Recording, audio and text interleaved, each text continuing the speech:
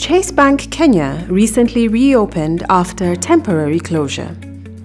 But what caused this? You see, for a bank to run efficiently, there must be people depositing money and withdrawing to have a liquidity balance. When rushed withdrawals happened, the balance was tipped and the bank had to close. Seven days after closure, however, the bank reopened under receivership. Receivership is a preservation process put in place to protect the assets, liabilities, and business affairs of a bank. This protects the interests of its depositors, creditors, and members of the public. In other words, it protects you and your money.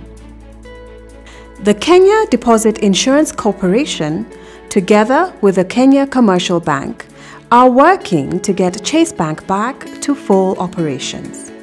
The 63 Chase Bank branches are open during the bank's normal operating hours and have over 90% of services available.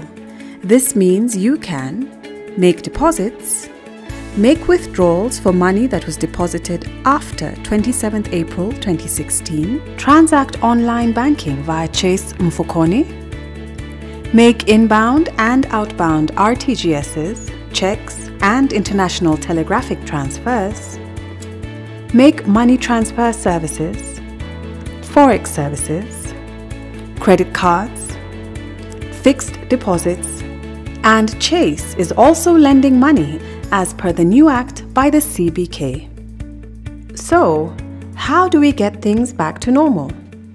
Chase Bank Kenya the Kenya Deposit Insurance Corporation, and Kenya Commercial Bank are all working together to get Chase Bank back to full operations.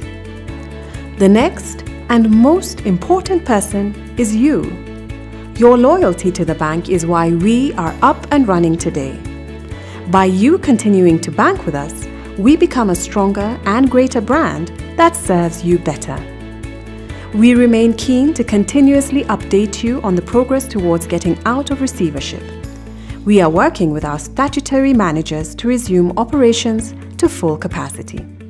And we look forward to continue growing our relationship with you, helping you achieve your dreams and goals. Because what matters to you matters to us.